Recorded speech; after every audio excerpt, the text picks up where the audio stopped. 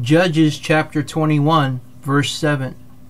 How shall we do for wives for them that remain, seeing we have sworn by the Lord that we will not give them of our daughters to wives? God gives great release in His divine time. Our Lord will deliver us from every kind of distress, but we need to repent our sins and ask for what we need.